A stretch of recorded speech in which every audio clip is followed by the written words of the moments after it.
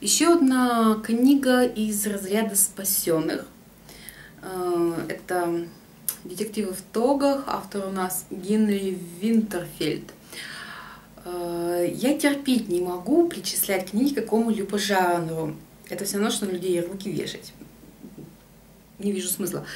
Эм, но здесь я вынуждена сказать, что если бы меня бы спросили, какому бы жанру я бы причислила, я бы сказала, что это детский исторический детектив. Господи, какая же лицемерка. Действия. Древний Рим. Причина заварушки. А, надпись на храме, посвященном императору. А, это для тех времен огромное преступление. Главные герои, школьники, древнеримские. Осталось выяснить, кто именно испортил храм. И зачем он это сделал. Книга является хорошим проводником а, э, в мир Древнего Рима, может замотивировать читателя на более подробное изучение этого мира.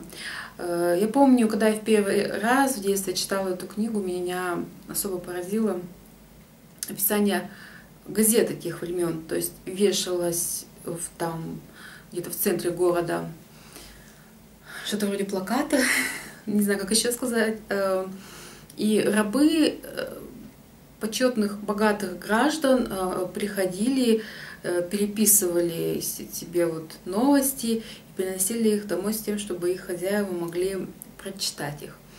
То есть и вот здесь вот по мелочи